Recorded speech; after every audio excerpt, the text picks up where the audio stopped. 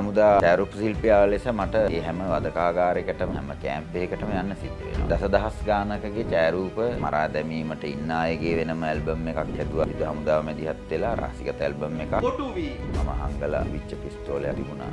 ඉති පෙරුණේ මරාගෙන හරි මැරෙන්න වෙනවනේ කියලා මේ එකත් මම ජමරාම් පන්න දාගත්තු බෑග් එකට දාගත්තා. දැක පිට ප්‍රශ්න කරන්න නම් හදන්නේ. ඒතකොට මේ පිස්ටල් එකම හමුදාවේ එකක් නොවන නිසා එතනම මම කොටු වෙනවා. ලෙන්ගතු සාකච්ඡා අහන ප්‍රශ්න වලින් තේරුණා මේ කවුරු හරි යන්තම් ඉතිපෙරුනේ ඉහළ පෙළේ කෙනෙක් කියලා. නමුත් ඒවා ඊටා සුහදව පහර දීම් කරමින් නෙමෙයි කෝපි බොමින් ඊටාම ලෙන්ගතු ලෙස කරගෙන ගිහපු සාකච්ඡාවක්. මුතාලිෆ්ගේ පිළිතුර එතන හිටියා මුතාලි LTT සංවිධානයේ අතින් පිස්තෝල කරුවෙක් අතින් ඝාතනය ලක් වුණා. මම මුතාලිස්ගෙන් අහනවා කවුද මේ ඉන්නේ කියලා. මුතාලිස් පුදුම වෙලා මගෙන් අහනවා ඔබ මෙච්චර වෙලා මේ ඔබ දන්නේ නැතුව හිටියේ මේ තමයි රෝහණ විජේවීර. අවසන් ඉල්ලී මුලින්ම ඇහුවේ ඔබ රෝහණ විජේවීරද කියලා. ඔව් කිව්වම මං ඇහුවා ඔබ කවුරු නමින්ද පෙනී හිටියේ කියලා. අත්තනායක නමින් කිව්වා. කන්නඩි දෙක ගලවලා උඩ සාක්කුවට දාලා බැන්දා. එතකොට ඇහුවා මාව කොහෙද ගෙනියන්න හදන්නේ? කොල්ලෝ කීප දෙනෙක් මෙහෙම දෙපැත්තෙන් පද්දලා අරකට දාන්න හදනකොට ළඟින්ම හිටපුව අපි හැමෝටම කිඳිරි ගාන හඬ පිටි තියලා තිබ්බට මිය ගිහින් හිටියේ නැහැ. වසර 35කට පසු රෝහණ විජේවිරයන්ගේ ඝාතනයේ සත්‍ය කතාව අද ඔබ වෙත.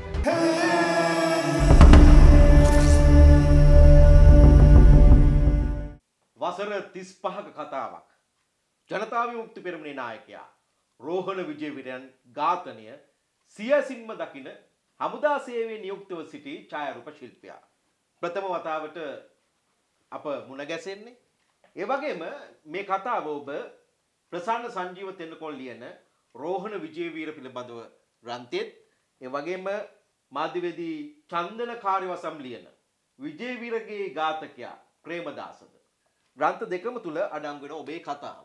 විශේෂයෙන්ම එවකට වසර ගණනාවක පොත්පත් ඒ වගේම පුවත්පත් පරිශීලනය කරන කෙනෙකුට මේ කතාව දැනගන්නට පුළුවන්. නමුත් වර්තමාන පරපුරට මේ කතාව යාන්ත්‍රණය කළ යුතුයි. ඔවුනුත් මේ කතාව දැනගත යුතුයි. එනිසායි ඩිජිටල් අවකාශයට ඔබව අපි මෙලෙස රැගෙන එන්නේ. අපි කතාව මුල සිට දැනගන්න සූදානම්. රෝහණ විජේවිරයන් ඝාතනයට පෙර ඔබ කොහොමද යුද්ධ හමුදාවට එකතු වන්නේ? පළමු අපි ඒක කතා කරමු. මම අධ්‍යාපනය ලබන්නේ පළුගස්දවන මහාවිද්‍යාලයේ. ඒතර මම උසස් පෙළ ලියලා එළියට ඇවිල්ලා රැකියාවක් හොයමින් ඉන්න කාලේ තමයි මම යුද හමුදා පොලිසියේ පත්‍රය දැකපු පුරප්පාඩුව මේ දැන්වීමකට මම ඇප්ලිකේෂන් එකක් දාන්නේ. ඒකට මම යුද හමුදා පොලිසියට තේරෙනවා 1987 ජූලි මාසේ තමයි මම යුද හමුදා පොලිසියට බැඳෙන්නේ. බැඳිලා මාස 3මාරක පුහුණුවක් තියෙනවා මාදුරුවේ කැම්ප් එකේ. ඊට පස්සේ නැවත යුද හමුදා පොලිසියේ මූලස්ථානයේ නාරාහෙන් පිට මාස 3මාරක තව පුහුණුවක් තියෙනවා. මාස 7ක් පුහුණු කාලේ නිම කරලා තමයි මම 88 මුල් භාගයේ පුහුණුවෙන් පසුව රැකියාවට අනියුක්ත වෙන්නේ. ඉතින් රැකියාවට අනියුක්ත වෙනකොටමත් යුද හමුදා පොලිසිය හිටපු එක්කෙනෙක් නොදන්නවා හැර යනවා සේවය. ඒතර එතන රාජකාරී කටයුතු කරගන්න කෙනෙක් නැතුව ඉන්නවා. ඔය අතරේ හම්බ සිද්ධියක් වෙනවා මේ මම පුහුණු වෙන අවසාන පුහුණු වෙන කාල සීමාවේ මගේ බැජ් එකේ කෙනෙක් සීදී විනාසා ගන්නවා පුහුණුව දරා ගන්න බැරුව. එයාගේ පවුලේ ඥාතින් හිටිය යුද හමුදා ඉහළ නිලධාරීන් ඉතින් පිහියකින් යනගෙන තමයි මේ යන්නේ. ඒතකොට පිහියකින් හත්පලකට විතර පපුවට ඇනගෙන තිබුණා. ඒ නිසා සැක පහල වෙනවා එහෙම තනි පුජ්‍යලයකට පුළුවන්ද කියලා හත්පලකට විතර ඇනගන්න. එඳ පවුලේ සැක පහල කරනවා මේක මිනිමරුමක් කියලා. ඉතින් ඇත්තටම ඒක මිනිමරුමක් නෙමෙයි දරා ගන්න බැරුව වෙච්ච මේ සීදු විනසා ගැනීමක්. ඒක මුලින්ම මම තමයි දකින්නේ බිලට් එකට යනකොට. නිසා මට සාක්ෂි දෙන්න වෙනවා අධිකරණ ඉදිරියේ. ඒගොල්ලෝ නඩු පවරනවා සාක්ෂි දෙන්න වෙනවා. දැකපු දේ මම නොසඟවා බය නැතුව අධිකරණ ඉදිරියේ මේ නීතිඥයන්ගේ හරස් ප්‍රශ්න වලට උත්තර දෙනවා. ඒ නිසා නඩුවෙන් අරගොල්ලෝ නිදහස් වෙනවා. ඒ නිසා මට කැමති අංශයක් තෝරා ගැනීමට විශේෂ වාස්තවගත තත්ත්වයක් එනවා. ඒ නිසා මම යුද හමුදා පොලිසියේ ඡායාරූපංශය තෝරගන්නවා. එහෙම තමයි මේ අහම්බ ලෙස ඡායාරූපංශයට සම්බන්ධ වෙන්නේ. 1989 නොවැම්බර් 13 වෙනිදා. එය ඉතිහාසකනෙන්නේ විප්ලවීය නායකයෙක්ගේ ඝාතනය. අපි අනාවරණය කරන්න සූදානම්. මම මේ යුද හමුදා පොලිසියට එතකොට සම්බන්ධ වෙන්නේ 88 මුල් භාගයේ. ඉතින් එතකොටමත් රට සෑහෙන පමණකට වියවුල්තකාරී තත්ත්වයක්, භීෂණකාරී තත්ත්වයක් මතුවලා තිබුණේ. ඒ වෙනකොට තනින් තන තනින් තන මලසිරු දැවෙනවා, අත්තරමුඩ ගැනීම වෙනවා. එතකොට 88 මැද භාගයෙන් පස්සේ වගේ විශේෂයෙන්ම අගභාගය විතර වෙනකොට 88 බදකාගාර හමුදා අත්අඩංගුවට ගැනීම බහුල වශයෙන් සිද්ධ වෙනවා. ඉතින් යුද හමුදා ඡායාරූප ශිල්පියා ලෙස මට ඒ හැම වදකාගාරයකටම හැම කැම්ප් එකකටම යන්න සිද්ධ වෙනවා. ඉතින් මම මේ දසදහස් ගානකගේ ඡායාරූප මරා දැමීමට ඉන්න අයගේ වෙනම ඇල්බම් එකක් හැදුවා යුද හමුදා යුද හමුදාව මැදිහත් වෙලා රාසිගත ඇල්බම් එකක්. ඒකට වෙනම ඡායාරූප ගන්න සිද්ධ වුණා. ඉතින් අර වදකාගාරවල ඒ වගේ තැන්වල ඉන්න අය බාගෙට මරා දාපු අය, දරුණු අධහිංසාවලට ලක් වෙච්ච අය, විශාල පිරිසකගේ ඡායාරූප මට ගන්න සිද්ධ වෙනවා.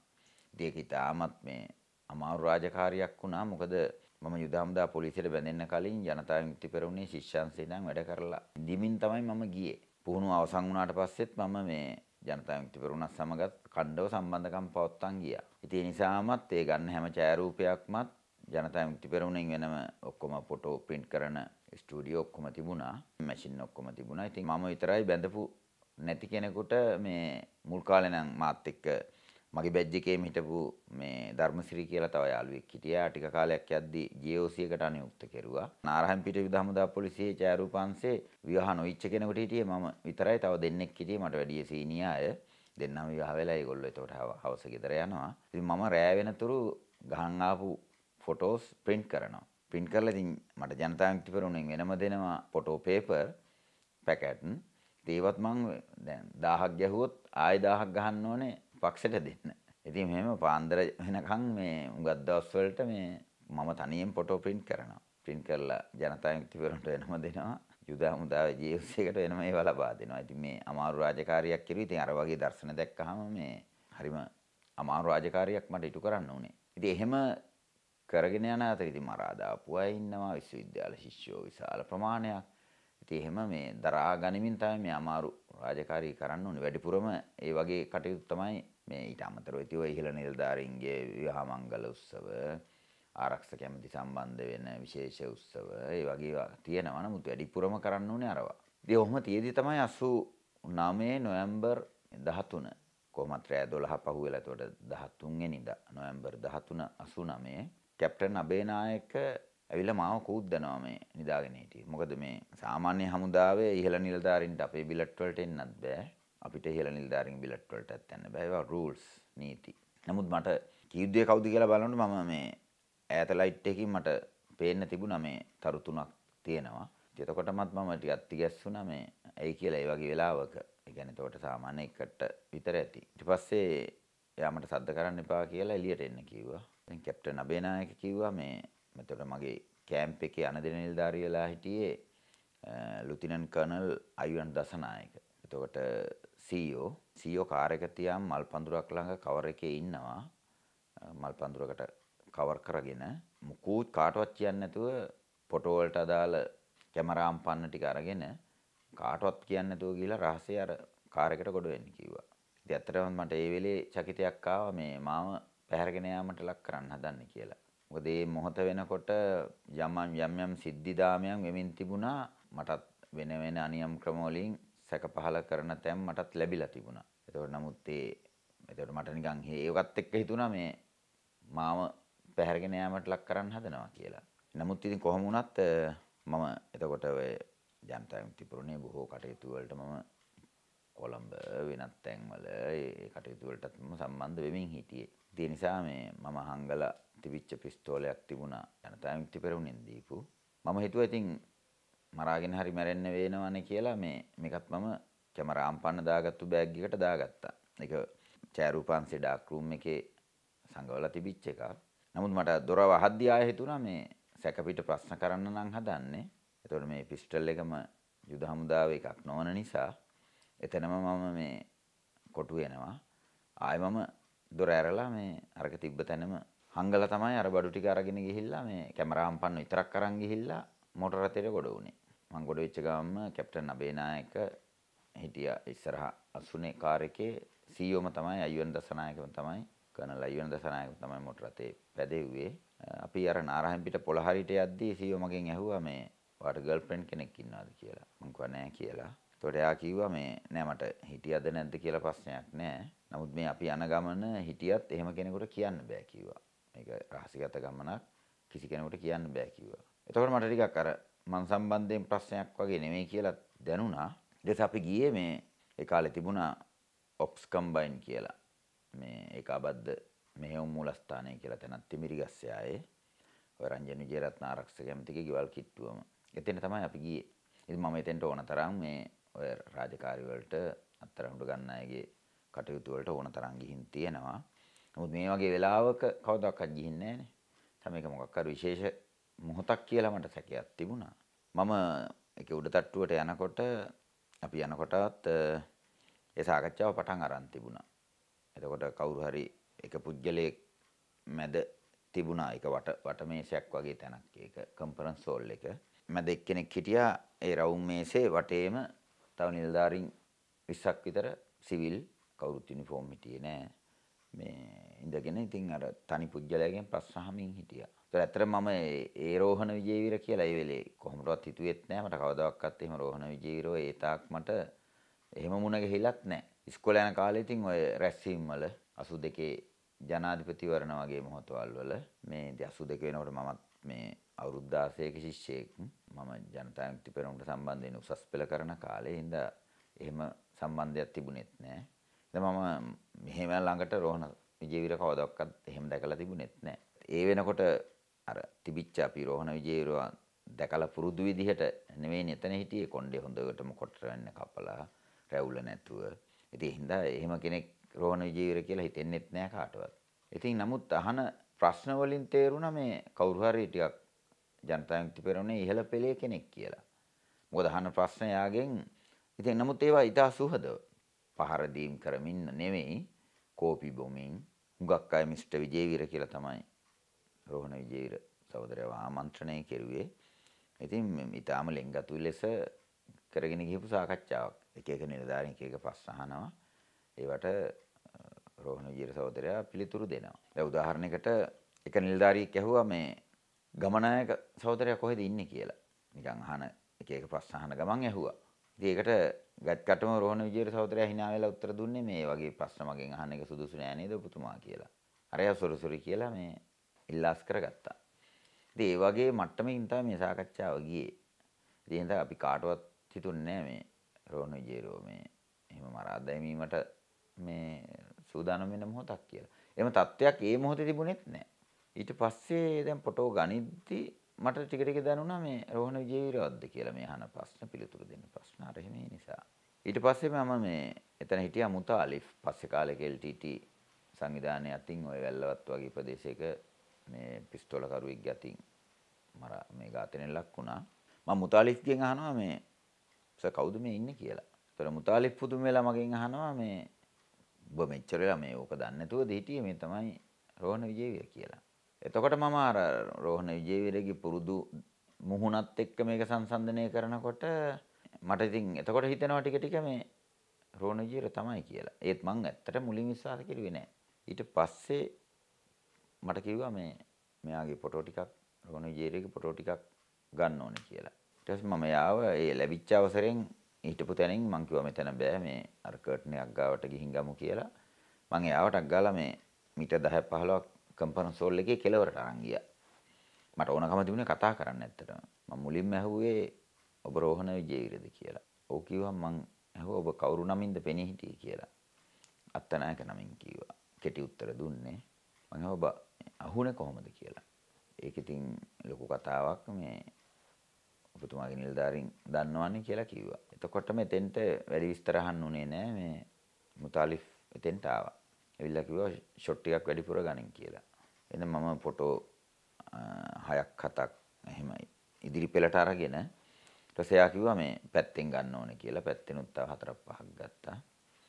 ඊට පස්සේ මුතාලිෆ් කිව්වා මේ උඩින් කියනවා කියලා අනිවාර්යෙන් hina වෙලා ෆොටෝ එකක් දෙයක් ඕනේ කියලා. ඉතින් ඒක දැන් මටත් එයාට hina වෙන්න කියන්නත් බෑ. මේ එයා ඒක ගණන් ගත්තෙත් නෑ රෝහණ සහෝදරයා. ඉතින් එහෙම කියලා මේ hina වෙලා පෙනී හිටියේ නෑ. නිකන් සාමාන්‍ය විදිහට ෆොටෝ කොහොම හරි 12ක් විතර ප්‍රමාණයක් විතර ගත්තා.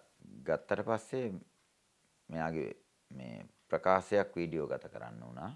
ඒතර අර මාත් එක්ක මේකට සේවය කරපු ධර්මප්‍රිය ජීවස් එකට ගිහින් තිබුණේ මේ චාරුපන්සේම අය විදිහට. ඒතර ධර්මප්‍රියයි ධර්මසිරී දෙන්න තමයි ආවේ මේ මාත් එක්ක මේකට සේවය කරපු අය අපේ ෆොටෝ සෙක්ෂන් එකේ. ඒ දෙන්නත් ආවා ඉතින් මේ ඒ කටයුත්තට. අපි තුන් දෙනාම එකතු වෙලා මේ අර වීඩියෝ ප්‍රකාශය එක ලබා ගත්තා. ඉතින් විනාඩි 20ක් විතර රෝහණ විජේර සහෝදරයා ඒ ප්‍රකාශය කෙරුවා. ඒ කියන්නේ එකෙන් එයා කියන්න උත්සාහ ගත්තේ මේ අපි ප්‍රජාතන්ත්‍රවාදී ප්‍රවාහයට අනුව සියලුම මැතිවරණ තරඟ කෙරුවා.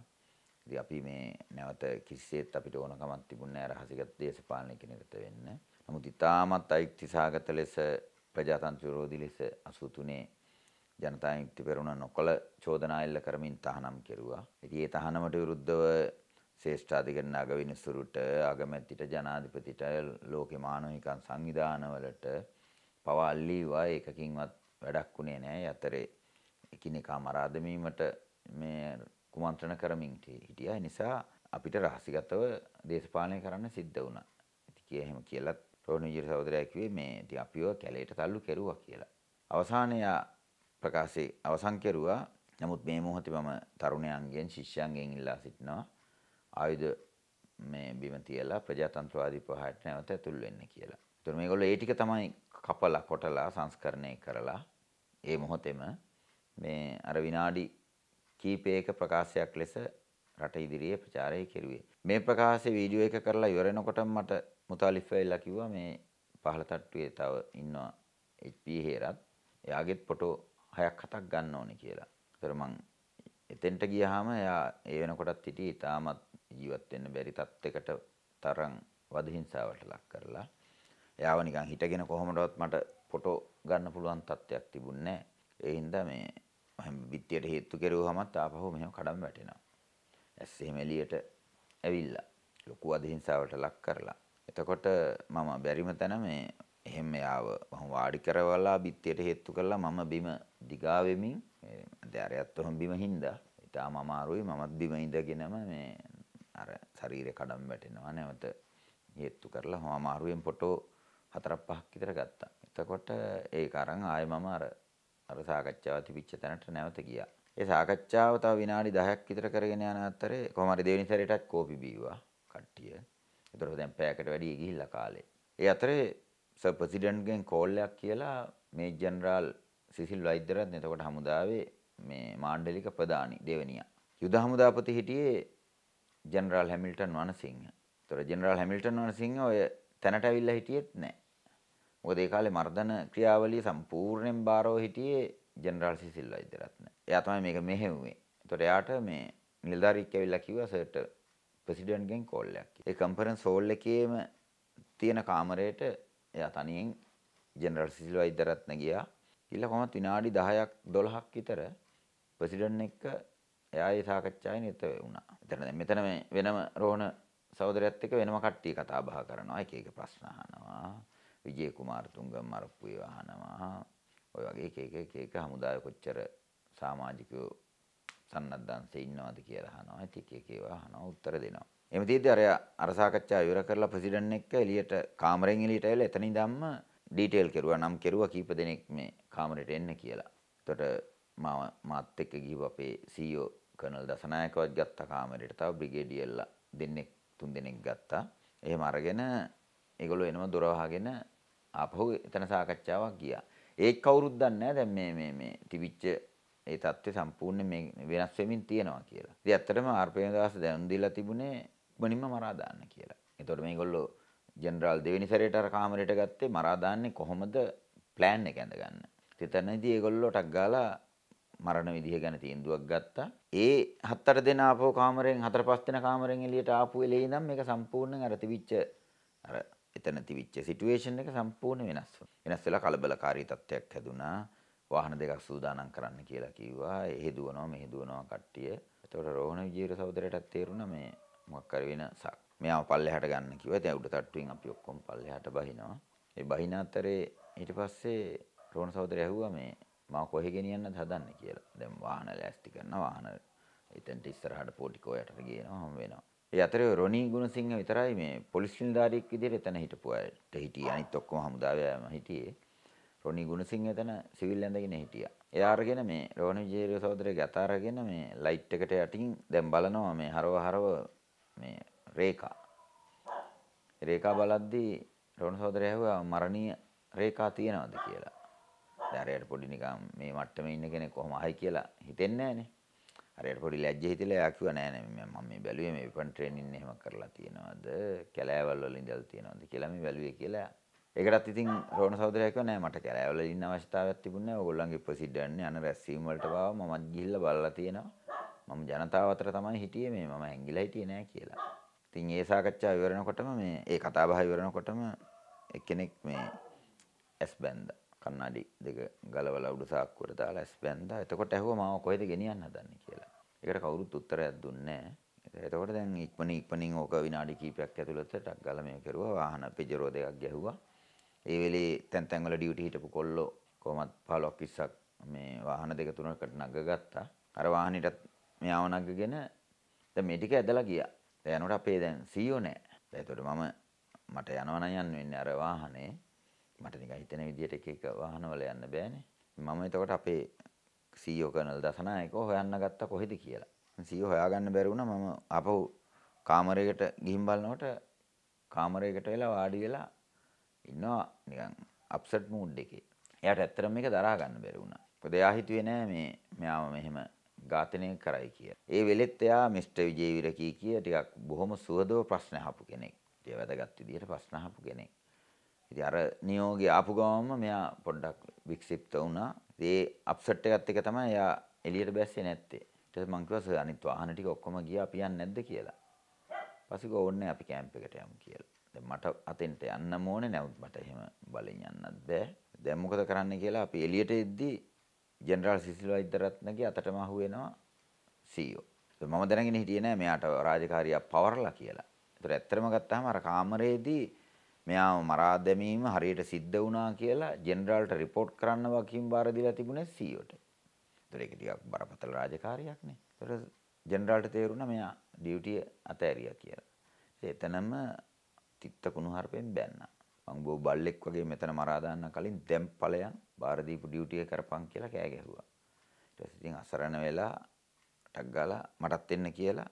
ඒතර කැප්ටන් නබේනායක කොහොම හරි වෙන වාහනයක ගිහිල්ලා. ඒතකොට කැප්ටන් අබේනායක පේන්නේ නැහැ. අපි තුන් දෙනෙක් නේ ආවේ. අපි දෙන්නටක් ගාලා වාහනේට නැග්ගා. කාර් එක කල ලයිට් ගාවට ගිහින් නවත්තලා ඇහුවා මේ ඔයා දන්නවද අපි යන්න ඕන තැන කියලා ඇහුවා. දැන් ඒතකොට ඒගොල්ලෝනේ කාමරය ඇතුළේ මේ ඔක්කොම ප්ලෑන් කරගත්තේ. දැන් මම මොනවවත් දන්නේ නැහැ කොහේ අරන් ගියාද. මරන්නද ගියේ කියලාවත් එහෙම දන්නේ නැහනේ.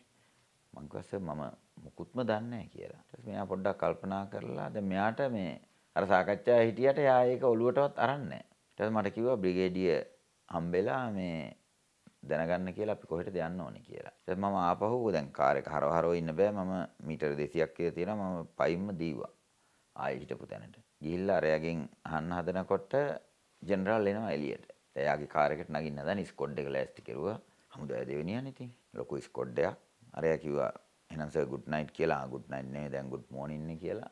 අදින් පස්සේ අපිට හොඳට නිින්දයයි කියලා දරයා ගොඩ වෙන්න හදන්නේ වාහනේට. ඒතකොට වහන්න ගොඩ වුණොත් එහෙම ආයෙ අතටම අහු වෙනවා යන්නේ නැතුව පාරේ හිටියා කියලා. ඉතින් ඒ කාලේ හැටියට ඉතින් මරණුණත් පුළුවන්. ඉතින් ඒන්ට මම ආපහු පයින්ම දීවා. දුවලා සීයට කිව්වා සර් ජෙනරල් එන්න හදන්නේ දැන් ස්කොඩ් එකත් ලෑස්ති කරලා නගින්න හදන්නේ කියලා. එහෙනම් මට ටක් ගාලා වාහනේ නගින්න කියලා සීයෝ කරු දේ වාහනේ ඉස්සරහට ගිහලා අතුරු පාරකට දාලා හැංගුවා වාහනේ. හංගලා රෙස්කොඩ් ඔක්කොම යනකම් අපි හැංගිලා බලන් හිටියා. එතකොට අර ඔක්කොම ගියාට පස්සේ ආයෙ පාරට දාලා ආයෙ මම ගියා යන්නේ කොහෙද කියලා දැනගන්න. දැන් ඒක අහන්න ඒ වෙලේ බෑනේ. ආයෙ ගියා. ගිහිල්ලා තමයි ඊට පස්සේ තාම ගියේ නැද්ද කියලා බ්‍රිගේඩිය කෑ ගහලා අර මේ කරලා ඉක්මනට යන්න දැන් දැනටත් පරක්කු වෙලා ඇත්ති කිව්වා. ඇත්තටම එතකොට අපි කනත්තට යනකොට කනත්තට එහා පැත්තේ බොරල්ල කනත්තට එහා පැත්තේ ගෝල්ෆ් ග්‍රවුන්ඩ් එකේදී තමයි වෙඩි තියලා තිබුණේ. එතකොට අපි එතෙන්ට යනකොටත් මේ එතෙන්ට රෝණ සහෝදරයාගේ සිරුර ගෙනල්ලා දාලා තිබුණා මෝචරිය ළඟ එතන එහෙම බිම. ඒතර එතන පොඩි කලබලයක් තිබුණා. ඊට පස්සේ යතුරු ඉල්ල ගන්න ඕනේ ආදාහනේ බාරකරුගෙන් අපේ අපේම යුනිට් එකේ හිටපු නිලධාරී ගිහිල්ලා මේජ තෝර දෙනිය දෙවිනියා විදිහට හිටියේ. එයා ගිහිල්ලා කනත්තේ බාරකරුගෙන් යතුරු ඉල්ලුවා. එයා කිව්වා මේ වගේ තැනක කරන්න බෑ. මෙතන නීත්‍ය අනුකූල තැනක්. සර්ලව ඕන තැනක් කරගන්න මෙතන කරන්න දෙන්න බෑ කියලා. ඊට පිස්ටල් එකක් කරන් අල්ලට තියලා කිව්වා මරුන්නකා යතුරු දීපන් කියලා. ඉතින් ඒ වගේ කාලෙක තනි මිනිහෙකුට කරන්න දෙයක්වත් නැහැ. ඊට පස්සේ ඉතින් එයා යතුරු දුන්නා. එයාගෙන් අහගත්තා මේක කොහොමද කරන්න කියලා. ඊට පස්සේ මේකව දාපන් කිව්වා ඇතුළට. දැන් සාමාන්‍ය පෙට්ටියක් නම් ඔහම තියලා තල්ලු කරන එකනේ කරන්නේ. දැන් මේ පෙට්ටියකුත් නැහැ මොකුත් නැහැ. ඒකට හමුදායේ කොල්ල කීප දෙනෙක් මෙහෙම දෙපැත්තෙන් පද්දලා අරකට දාන්න හදනකොට දැන් අර විදිහට පෙට්ටියක් විදිහට යවන්න බෑනේ. ඊට පස්සේ අර කටේ වැදිලා වැටුණා. ළඟින්ම හිටපුව අපි හැමෝටම කිඳිරි ගාන හඬ ඇහුණා. වෙඩි තියලා තිබ්බට මේ මිය ගිහින් හිටියේ නෑ. කෑ ගැහුවත් අපිට වැඩක් කරන්න බැරිද? අර එහෙමයි කියලා කෑ ගැහුවාම මේ තමයි ආපහු බොහොම සීරුවෙන් ළඟටම ගිහිල්ලා මේක තල්ලු කරලා දැම්මේ. ඉතින් ඊට පස්සේ එහෙම පොලිසා දැම්මා. ඊට පස්සේ අපේ සීයෝ වැඩි වෙලාවක් එතන හිටියෙත් නෑ. විනාඩි 5කට වැඩි හිටියේ නෑ. අපි මේ අපි යමු කැම්ප් එකට කියලා මේ කැම්ප් එකට එනකනුත් ඉතින් සීයෝවත් මමවත් ආයේ මේ වචනයක්වත් කතා නොකර එහෙම තමයි අපි කැම්ප් එකට ආවේ. පස්සේ දවසේ දැන් මම උදේම මේක දැනුම් දෙන්න ඕනේ පක්ෂෙට. එහෙනම් දැන් මට එතකොට උදේම ආපහු රාජකාරි තියෙනවා. එහෙම නිකන් අපිට එහෙම එහෙම යන්නත් බෑ. එහෙනම් මම යුනිෆෝම් ඇඳගෙන බයික් එකක මම තැන් දෙකකට ගියා. මම යුනිෆෝම් ඉන්නේ හින්දා ඒ තැන්වල හැමෝම ඈතදීම දැකලා සැක සැක සහිතයිනේ කොච්චර අඳුරන කෙනෙක් වුණත්. යුනිෆෝම් වෙනකොට. ඒ තැන් දෙකේම කවුරුත් හිටියේ නෑ.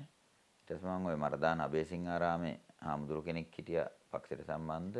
එයාට වෙන කෙනෙක් අතේ පණිවිඩය යවුවා. දැන් මට මට යුනිෆෝම් යන්න බැරි නිසා. රෝහණ විජේර සහෝදරයා මේ විදිහට පාන්දර පිච්චුවා කියලා. එතකොට ඊට පස්සේ දවල් හවස් වෙනකොට ජනතා පත්තරේ ලේක් හවුස් එකෙන් ගහන ඒකේ හෙඩ්ලයින් එකේ පළ වෙලා තිබුණා. රෝහණ විජේර පිළිතබා ඝාතනය කරයි. ඝාතනය වේ කියලා. පත්තරේ තිබුණේ විස්තරයේ විදිහට රංජන විජයරත්නගේ ප්‍රධානත්වයෙන් ඊට පස්සේ කොළඹ ප්‍රතිසාකච්ඡාවකුත් කැඳෙව්වා. දෙස් විදෙස් මාධ්‍යවේදීන් ගොඩාක් සම්බන්ධ වුණා. ප්‍රශ්න ගොඩාක් ඇහුවා මමත් එතෙන්ට ගියා. එතකොට රංජන විජයරත්නගෙන් ඇහුවා කොහොමද ඔහු අත්තරංගුඩ ගත්තේ කියලා. ඉතින් කිව්වා උලපනේදී අත්තරංගුඩ ගත්තා. පසුව කොළඹට ගෙනාවා. කොළඹදී ඔහුගෙන් ප්‍රශ්න කරද්දී ඔහු එකඟ වුණා මූලස්ථානේ පෙන්වන්න කොළඹ තියෙන. ඒ අනුව හමුදා කණ්ඩායමක් ගිහලා මූලස්ථානේ වට කෙරුවා. වට කරලා එතන හිටිය IB හේරත් දේශපාලන මණ්ඩල සභිකයා ඔහුවත් අත්තරංගුට ගත්තා.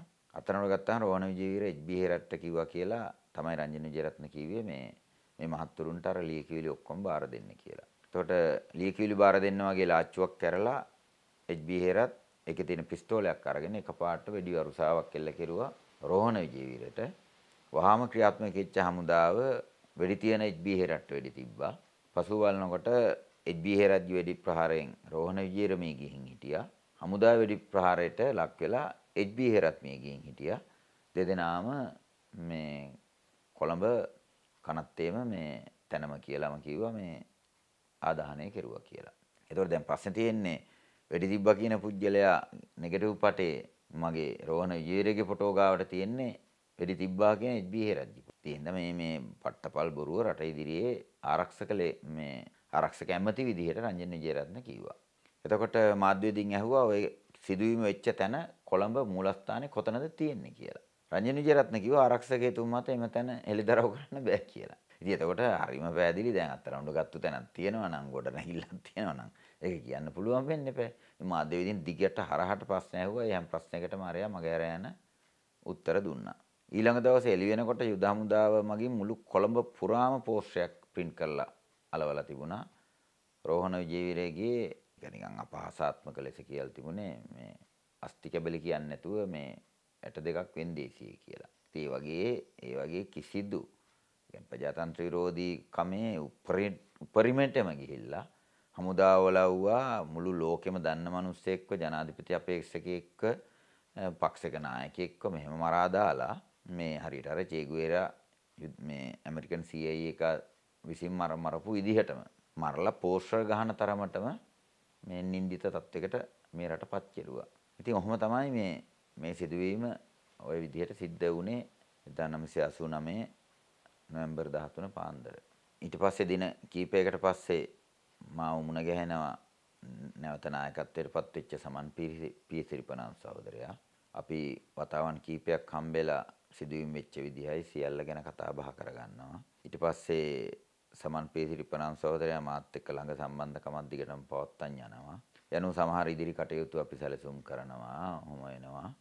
ඒ ඔක්කොම මැද ඊට පස්සේ සමන් පේසිරිපනම් සහෝදරයා දෙසැම්බර් මාසේ 25 වගේ දවසක අත්තරංගුවටපත් වෙනවා. ඒතකොට අත්තරංගුවටපත් වුණාම දැන් මට මම ඉක්මනින් නිවාඩුවක් දාලා ගෙදර එනවා මේ පොඩි සැක සහිත භාවයක් තිබිච්ච නිසා. නමුත් පසුව දැනගන්න ලැබෙනවා ඔහුගෙන් වචනයක්වත් ගන්න හම්බෙන්නේ නැහැ. ඔහු ඝාතනය කෙරුවා කියලා. ඊට පස්සේ මම නැවත රාජකාරී කරගෙන යනවා. නමුත් මේ ඔහු අත්තරවුණපත් වෙච්ච වෙලේ ඔහුගේ බ්‍රීෆ් කේස් එකේ තියලා මම දීපු ලිපි ලේඛන හමුදා කඳවුරු වල සිටියම් ඡායාරූප සියල්ල අහුවෙලා තිබුණා. ඒ අනුව දැන් මේ ඒ ඒවා නිකන් වෙන කෙනෙකුට ගන්න බැරි ඒවා අපේ කැම්ප් එකේ ඡායාරූප ගොඩක්. ඒ නිසා අපේ අනදින නිලධාරීව ගෙන්නලා අහලා තිබුණා මේ මේ කාගේ කැම්ප් එකේ මේ මැප් එකද ෆොටෝද කියලා. ඉතින් සීයෝ බැලු බැලමටම කියලා තිබුණා මේ අපේ කඳවුරේ. සීයෝගෙන් අහලා තිබුණා CID එක ඔබ හිතනවාද මේක වෙන කෙනෙකුට ගන්න පුළුවන් ඇතුළේ කෙනෙකුට නැතුව කියලා නෑ මේක අනිවාර්යෙන් ඇතුළේ කෙනෙක්ට ඇරෙන්න මෙහෙම ගන්න බෑ කියලා. ඒතර ඒගොල්ලෝ ඒ කාලේ අද වගේ මේ ෆෝන් තිබුණෙත් නෑ. ෆෝන් කියලා જાතියක් නෑ. ඒ වගේම කැමරා කියලා සාමාන්‍ය ගාව තිබුණ අර 110 වගේ පොඩි කැමරා. මේක මේ ඊටාම දියුණු කැමරා වලින් ගත්තු ඒවානේ. ඉතින් ඒ හින්දාම CEO ෆොටෝ දැකලා අනුමාන කෙරුවා මේක ෆොටෝ සෙක්ෂන් එකෙන් මිසක් වෙන කෙනෙකුට ගන්න බැරි ඒවා කියලා. එතකොට මේගොල්ලන්ට පළවෙනි සැකේ ආවා ෆොටෝ සෙක්ෂන් එකේ කවුරු හරි සම්බන්ධයි කියලා. ෆොටෝ සෙක්ෂන් එකේ හිටියේ සායම් මේජේ යා ටික වයසයි. තියාව ඒ පළවෙනි මොහොතේම සැකෙන් අතෑරියා. එතකොට කෝප්‍රල් සිල්වා හිටියා මට වැඩිය ගොඩක් සීනියර්. මේගොල්ලෝ සැක කිරුවේ මාව නෙමෙයි කෝප්‍රල් සිල්වාව. මොකද එයා ඒ කාලේ යුද්ධ තිබිච්ච වෙලාවේ උතුරේ මේ LTT මැරෙන අයගේ ඡායාරූප අත්තරවුණ ගන්න අවිය ආයුධවල ඡායාරූප ඔය කාලේ පත්තරවලට දෙන්න තහනම් මෙයා රහසේ පත්තරවලට දුන්නා. ඒවා දිවයිනේ පත්‍රේ එහෙම නිතර පළ වෙලා එයාට ලොකු මුදල් වලින් එහෙම ගෙවීම් කරලා තිබුණා දිවයින. ටික දවසක් යද්දි මේක සැක කරලා මේ ගැන පරීක්ෂණ කරලා කෝපල් සිල්ලාට දඬුවම් මාරුවක් ලෙස ඔහුට දඬුවම මුකුත් හිමි වුණා. තනතුරත් පහළ යට දැම්මා. උතුරෙන් නැවත ගෙන්නවා මෙහෙට. කඳුරේ ප්‍රධානින් විදිහට මේක දැන් පරීක්ෂණයක් පවත්වනවා කියලා දන්නේ අනදෙනල්දාරි අයුවන් දසනායකයි මේජ තෝරදෙනියයි තව කෙනෙකුයි විතරයි. රංජිත් සියඹලා පිටියයි කියන තුන් දෙනා විතරයි දන්නේ. මේගොල්ලෝ තීන්දුව කරනවා මේ ඒ හින්දා කෝපල් සිල්ලව පරීක්ෂණයට රහසේ ලක් කරන්න. මාව නෙමෙයි අරයව. මොකද මේ ඡායාරූපත් මෙයාගෙන් මුදලට වික්කා කියලා හරි මොකක් හරි සැකයක් එනවා. ඒ අනුව ඒගොල්ලෝ තවත් 20 දෙනෙක් සම්බන්ධ කරලා 21 දෙනෙක්ගේ පාඨමාලාවක් හදනවා. ඒ පාඨමාලා හදන්නේ ඔෆිස් වල අයට ඔෆිස් වල අයගේ දැන් බඩවල් වැඩි අර එහෙමයි කියලා බොරු කතාවක් කියවලා අනිවාර්යෙන් සම්බන්ධ වෙන්න ඕනේ. ගෙවල් වල යන්න බෑ දවස් 21ක්. කාටවත් බැඳපු අයටවත් කාටවත් බෑ. දවස් 21 පුහුණුව ඉවර වෙලා තමයි නිවාඩු ලැබෙන්නේ කියලා ඒ පුහුණුවට ඇතුළත් කරගත්තු අයගේ නම් ටික ඩීටේල් කරලා දැම්මා දැන්වීම් පූර්වේ. ඒතර මගේ නම නෙමෙයි තිබුණේ අර කෝපල් සිල්වාගේ නම. තියා පුහුණුව අවසන් කරලා එනතුරු මමයි සාමයේ ජය අමාරුවෙන් වැඩේ ඇදගෙන ගියා. ඒතකොට තවත් කෙනෙක් අඩු වුණා ඩියුටියට. ඉතින් ආවට පස්සේ ඇහුවා ඉතින් මොකුත් නෑ බං ප්‍රශ්න පත්‍රයක් දුන්නා. ඉතින් ඔය අර පරණ වෙපන් ට්‍රේනින් ටිකයි ඔක්කොම තමයි කිව්වා. 아무 දෙයක් වුණේ නෑ කිව්වා. මේගොල්ලෝ අර ප්‍රශ්න පත්‍රය තමයි යවන්නේ.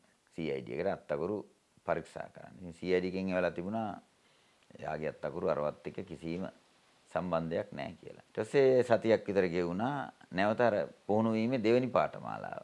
ඒකට මාව ඇතුළත් කරගෙන තිබුණා. ඉතින් එතකොට මට එහෙම සැකයක් එන්නේ නැහැ දැන් මේ මට කලින් අනිත් කෙනා ගියා. දැන් ඉතුරු වෙලා ඉන්නේ මම. මගේ නම ඒ කණ්ඩායමේ තිබුණා. ඉතින් මම ඒ කණ්ඩායමට ඇතුල් වුණා. ඇතුල් වෙලා පුහුණුව කරගෙන යද්දී ඇක්සිඩන්ට් රිපෝට් එකක් හදන්න ඕනේ. අපි වාහන දෙකක් බොරුවට මෙහෙම මුණෙන් මුණ හප්පලා වගේ තියලා ග්‍රවුන්ඩ් එකේ ඒක අඳින්න ඕනේ.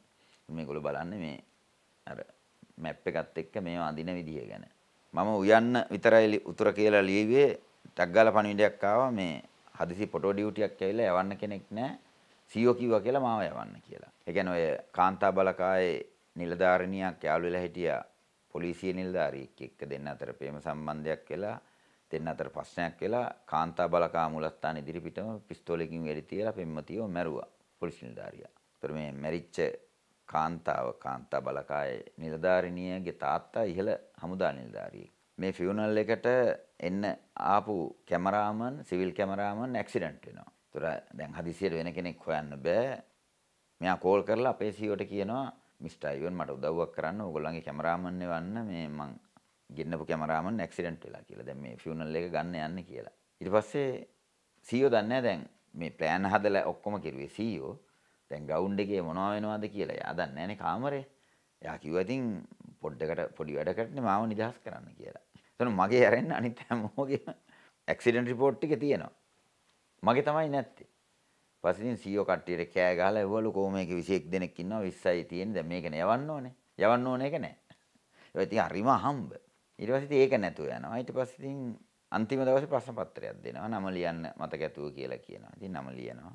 ප්‍රශ්න පත්‍රය යවනවා. යවුවාම CID එකෙන් කියලා වෙලා තිබුණා සිංහලත් අකුරු සෑහෙන දුරට සමානයි. නමුත් සිංහල අකුරු හරිම අඩුයි ලේඛනවල.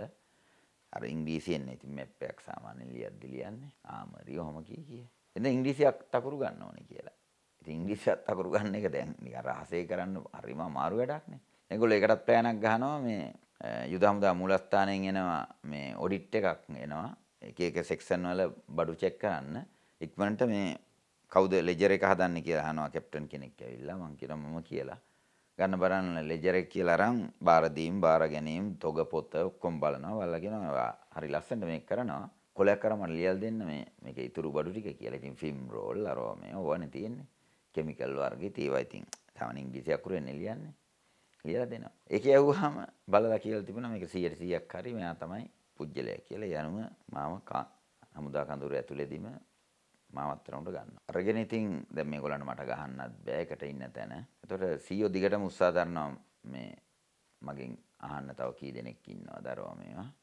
මම මුලින් කියනවා මුකුත්ම දන්නේ නැහැ කියලා. ඊට පස්සේ එකම එක කම්බුල් පාරක් විතර නිලධාරියෙක් ගහනවා. එච්චරයි කැම්ප් එකෙන් ගුටි කෑවේ. ෆයිල් එකක් මගේ මූණට දමලා ගහලා ඔක බලපන් කියනවා. බලනකොට අර මම දීපු ඔක්කොම මේකේ තියෙනවා. මගේ ප්‍රශ්න පත්‍රයේ තියෙනවා.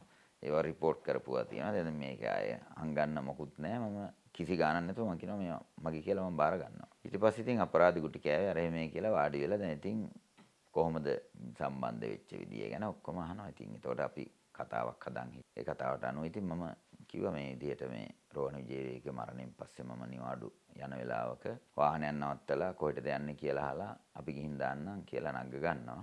අතරමඟදී මොනවා හරි මගේ මූණට අල්ලනවා මට සීහ නැති වෙනවා. ඊට මට සීහ එනකොට කැලේක හිටියේ වෙපන්තියන් කට්ටියක් වට වෙලා හිටියා. ඒතර මට තේරුණා මේ ජනතා විමුක්ති පෙරමුණේ කට්ටියක් මාව පැහැරගත්තා කියලා. ඒ වෙලේ ඒගොල්ලෝ මගෙන් අහනවා ඔබ නේද රෝහණ විජේවීරගේ ෆොටෝ ගත්තේ අර එහෙමයි කියලා. එතන ඉඳන් දරු පවුල් ඔක්කොම ඝාතනය කරනවා. ඔබ මේ තොරතුරු ටික අපිට දෙන්න ඕනේ කියලා මේ එතැන් සිට ඒගොල්ලෝ කියපු විදිහට මම වැඩ කරනවා. ෆොටෝ ඉල්ලුවම ෆොටෝ දුන්නා, මැප් ඉල්ලුවම මැප් දුන්නා. මම තමයි කතාව හදන් හිටියේ. නමුත් ඉතින් මේජ තෝරදෙනිය රෑ සීයෝ ගෙදර යනකම් ඉඳලා ඇවිල්ලා කියනවා උඹ CID එකට දෙන්න වෙනවා. අපේ උන්ට උඹට ගහන්නත් බෑ. උඹ ඇත්ත කියන්නෙත් නෑ. එන්තා ලෑස්ති වෙන්න කියලා CID එකට යන්න. CID එකට යවනවා කියලා ඇත්තට මේගොල්ලෝ මාව යවලා තිබුණේ යටාරෝ කැපිටේරියා හෝටලේ පවත්වන ගිහපු අධකාගාරයට. සාමාන්‍ය ඉතිහාසයේ කවදාකවත් යුද හමුදා පොලිසිය ඒ කියන්නේ CCMP කෙනෙක් හමුදාවකට බාර දෙන්නේ නැහනේ. හමුදාවයි බාර දෙන්නේ ප්‍රශ්න කරන්න ඔක්කොම කරන්න CCMP එකට. ඉතිහාසයේ කවදාකවත් CCMP කාරයෙක් දෙන්නේ නැහැ හමුදාවට. ඒගොල්ලෝ අපිත් එක තරහින්මයි ඉන්නේ. ඉතින් එහෙනම් පළවෙනි වතාවට මේ කටයුත්ත මේජර් තෝරදෙනිය කෙරුවා. රහසේ අර විදිහට යවුවා. ඉතින් එතන ඉඳන් සම්පූර්ණයෙන් මේ පහර දීමට ලක් වෙමින් දින 17ක් වදකාගාරي තියාගත්තා. රංජන් විජේරත්න ආරක්ෂක ඇමති ගාවට අරන් ගියා. ඇමතිවරයව ඝාතනය කිරීමේ ප්‍රයත්නයක් ගැන දිගින් දිගට ඇහුවා. මම ඒවට උත්තර දුන්නා. ඒ අනුව රංජන් විජේරත්න ඔය රිචඩ් දොසොයි සමරලා සතියකට පස්සේ තිබිච්ච හදිනීති වාදයට යන්නත් ලෑස්ති වෙලා හිටියේ සුදු ඇඳගෙන. ඒ අතරේ තමයි මාත් එක්ක විනාඩි 10ක් 15ක් කතා කරුවේ තර්ජනාත්මකව. එළියට බහැලත් කිව්වා උඹ ලෑස්ති වෙලා ඉඳපන් මරණය පිළිගන්න. මිනිහෙක්ව මරන්න බෑ උගේ වෙලාව වෙනකන් දැන් උඹේ වෙලාව වෙවිලා තියෙන්නේ කියලා තමයි පුටුවටත් පයින් ගහලා දාලා. නිලධාරීන් එතකොට අපේ සීයෝ දිගටම විරුද්ධ වෙලා තිබුණා මාව මරණවට. දිගටම විරුද්ධ වෙලා තිබුණා හින්දා නිලධාරීන්ට තනි තීන්දුවක් ගන්න බැරි තත්ත්වයක් තිබුණා. මේගොල්ලෝ රංජන් විජේරත්නගෙන් පිටිපස්සෙන් දුව දුව ඕඩරේ ගන්න හැදුවා මොකක්ද මේ අහම්බයකට කේන්ති ගිහින් හිටපු රංජන් විජේරත්න උත්තර නොදීම කාර්යකට ගියා. කියලා පාර්ලිමේන්තුව යනකොට දිගට හරහට රිජත් සොයිසගේ මරණය ලොකු පාරවලල්ලක් වුණා ආණ්ඩුවට ජාත්‍යන්තරව ලොකු බලපෑමක් එල්ල වුණා. ඒ විවාදය ඇතුලේ රංජන් විජේරත්න ඇතුල් වෙනකොටම කට්ටිය කෑ ගහන්න අරන් තිබුණා මිනිමරුව එනවා කියලා. රංජන් විජේරත්න තමයි ආරක්ෂක ඇමති විදියට අවසාන කතාව කරන්නේ. ඒ අවසාන කතාවේදී පැහැදිලිව කියනවා මගේ අතින් කිසි මිනිහෙක් මරලා නැහැ. නමුත් අපේම ප්‍රබල නායකයෝ ඒගොල්ලෝ කරපු අපරාධ මගේ කරපිටින් යවලා තියෙනවා කියලා. ඕක පාර්ලිමේන්තුවේදී කරනවා. එයා ඒ කියන්නේ ආර්.පී. මදාසිගේ ඕඩරෙන් රෝහණ විජේරෝ මරා දානවා. ඊට පස්සේ දවසේ ඉඳන් රැස්වීම වල ආර් ප්‍රේමදාස කියමින් යනවා රෝහණ විජේවීර ඝාතනය කෙරුවා කියලා දැනගත්තාම මට මහා කම්පාවක් ඇති වුණා.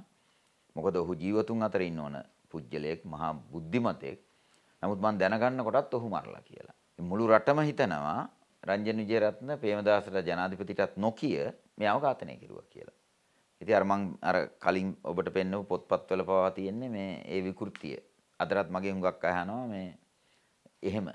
ඉතින් ඒක සම්පූර්ණ බොරුවක්. ඒ ඒ ෂොක් එකත් එක්ක තමයි රංජන විජේරත්න එතකොට අරක කියන්නේ. අපේ මැතන් නායකයෝ ඔවුන් කරපු අපරාධ මගේ කරපිටින් යවලා තියෙනවා කියලා. එතකොට නමුත් රංජන විජේරත්න දැනුවත් වෙච්ච ඕන තරම් ඝාතන තිබුණා. එහෙමයි. නමුත් එයා එහෙම කියනවා. ඒ කියන ගමන් කියනවා එහෙම කරපු මාව ඝාතනය කරන්න දැන් හමුදාවෙම උත්සාහ දරනවා කියලා. මගේ නම කියනවා. තොර වාසුදේව ඇතුළු පිරිසක් නැගිටලා කෑ ගහනවා සිවිල් පුරවැසියෝ මරලා මරලා දැන් හමුදාවත් ඝාතනය කරන්න පටන් ගත්තද කියලා. එතකොට මිනිහා කියනවා නෑ මිනිහා ඉන්නවා. මම අද එන්න කලිනුත් මිනිහා හම්බෙලයි මෙතෙන්ට ආවේ. කාට හරි සැකනම් මට පෙන්වන්න පුළුවන් කියලා. ඔක ලංකාදීප පත්තරේ දෙවෙනි පිටුවේ සම්පූර්ණ හදිසිනීතිවාදී කතාවම යනවා. මීට මාස 6කට විතර කලින් ඇක්සිඩන්ට් එකකින් මේ ජීවිතෙන් සමුගත්තු මගේ මල්ලි සමන්නන්ර පොළොන්නරු විදවල මන්දිරයේ ඩ්‍රාමා එකක් බල බල බලන්න ගිහිපු ගමන් ඩ්‍රාමා එක පටන් ගන්න කලින් ලංකාදීප පත්තරේ බලනකොට එයාට අර කෑල්ල හම්බෙනවා. ඒතර එයාටක් ගාලා යාළුවන්ට බොරුවක් කියලා টয়ලට් එකට ගිහින් එන්නම් කියලා එයාටක් ගාලා ගෙදර එනවා. ඇවිල්ලා අපේ අයියට කියනවා මේ අයියවත් තරමට අරන් ගියන්නේ අපි ටක් ගාලා අම්මට බොරුවක් කියලා කොළඹ යමු කියලා. ඊසේ ඒගොල්ලෝ අල්ලපු ගෙදර වෑන් එක කොළඹ යනවා ගිහිල්ලා කැම්ප් එකට ගියාම ඒගොල්ලෝ එනකොට බොරුවක්වත් හදන් හිටියේ නැහැ. කැම්ප් එකෙන් කියලා එයා හදිසි ෆොටෝ රාජකාරියක් කියලා යාපනයේ ගියා කියලා. මේගොල්ලෝ කියලා RMB එකට ආවා මේ වැඩකට. ඒ ගමන් මල්ලි RMB එක ඉස්සරහා තමයි කැම්ප් එක තියෙන්නේ. මල්ලි බලන්න ආවා කියලා. ඒතර ඒගොල්ලෝ අර එහෙම කියලා. රයියා දන්නවා දෙක වෙනකොට මේ ඉන්න අය වෙනස් වෙනවා අලුත් කට්ටියක් එනවා ඩියුටි. මේගොල්ලෝ රස්තිය අදුවක් ගහලා ආයෙ දෙකට දෙකෙන් පස්සේ ආයෙ ඇවිල්ලා. ඒතර එක බොරුවක් හදන් හිටියේ නෑනේ. ඒතකොට ඒ නිසා ඊළඟ කණ්ඩායම කියලා එයා පැනලා ගිහින් කියලා. ඒ අනුව දැනගන්නවා මේ මම අත්තරංගුට අරන් තියෙන කියලා. නමුත් මාස ගාණක් යනකම් පෙන්වන්නේ ඉතින් එහෙම නමුත් වදකාගාරෙන් ඊට පස්සේ දවස් 17කට පස්සේ ආපහු කැම්ප් එකට මහරෑ ගේනවා. ඉතින් එතනත් මම හිතුවේ මාව ඝාතනය කරන්න හදන්න කියලා. මොකද ලකී අල්ගම ඇතුළ ඇවිල්ලා කිව්වා උඹ බෝ පුච්චන්නේ ගිනි කුර ගහන්නේ මම කියලා. ඉතින් එහෙනම් මම හිතුවේ ඇත්තටම මගේ අවසාන දවසේ කියලා රෑ වදකාගාරෙන් එළියට ගන්නකොට අර වංගුවකදී මම වාහනෙන් පව පනින්න හදනවා. එතකොට කෙනෙක් කෑ ගහලා අහනවා මැරෙන්නද හදන්නේ කියලා. එතකොට මට තේරෙනවා මේ මැරෙන්නද හදන්නේ කියලා අහන්නේ නැහැ නේ මරන්න ඉන්න පුජ්‍යලෙක්. කැම්ප් එක ගාවට ගෙනල්ලා කැම්ප් එකේ දොර අරින්න පුරුදු සද්ද ඇහෙනකොට තමයි මට තේරෙන්නේ මේ අදකාගාරෙන් ගෙනාවේ කැම්ප් එකට කියලා. එතන ඉඳන් ඉතින් අවුරුදු ගාණක් නඩුව අහන්න නැතුව තියන් ඉන්නවා. ඊට පස්සේ මම මානවිකම් මේ සංවිධානයකට රහසේ ලියලා ඒගොල්ලෝ නඩුවක් දාන්න හදනවා. ඉතින් නඩු පවරනවා. නඩු පවරලා අනීතික විදිහට තීන්දුව දෙන්න නැතුව මාව ගෙනත් තියලා ඊට පස්සේ මට දඬුවම කියන්නෙත් නැතුව මාව වැලිකඩ අරන් යනවා. මට අවුරුදු 15ක සිර දඬුවම් නියම කරලා තිබුණා. මම ඊට පස්සේ ඇපිල් කෝට් එකට ඇපිල් කරනවා. ඇපිල් එක නිෂ්ප්‍රභා වෙනවා. නැවත ශේෂ්ඨාධිකරණයට ඇපිල් කරනවා. ශේෂ්ඨාධිකරණයෙන් පැය 24ක් යාමට මත්තෙන් නිදොස් කොට නිදහස් කරන්න කියලා ඕඩරයක් ලැබෙනවා. ඒ අනුව අවුරුදු 7කුත් මාස 9ක් ඇතුළේ ඉඳලා මම මේ නිදහස් වෙලා එළියට එනවා. රාත්‍රී 9:15 සිට රාත්‍රී 10 වනතුරු මේ පටිගත කිරීම සිදු වුණා. ඔබගේ හෘද සාක්ෂියට අනුව ප්‍රකාශනයේ අයිතිය ඔබට තිබෙනවා. එලෙසින්ම තොරතුරු දැනගැනීමේ අයිතිය ප්‍රේක්ෂකයාට තිබෙනවා. ඒ අනුව පොත්පත්වල ලියවුණු ඔබගේ හෘද සාක්ෂියට අනුව කළ ප්‍රකාශයන් ඒ වගේම මේ කතාවේ ඇත්ත කතාව පොත්පත් රැසක ලියවී තිබෙනවා. මුද්‍රිත මාධ්‍ය ලියවුණු මේ කතා අද තමයි පළමු වරට ඩිජිටල් අවකාශයට සමාජ මාධ්‍ය තුළට යන්නේ. එනිසා අපි ස්තුතිවන්ත වෙනවා ඔබතුමන්ට වසර 35කට ආසන්න කතාවක්. මේ කතාව බොහෝ දෙනෙක් දන්නවා. නමුත් නොදන්න අය බොහොමයක් සිටිනවා. එනිසා මේ කතාව ජනකත කරන්නට එකතු වුණාට බොහොම ස්තුතියි. බොහොම ස්තුතියි.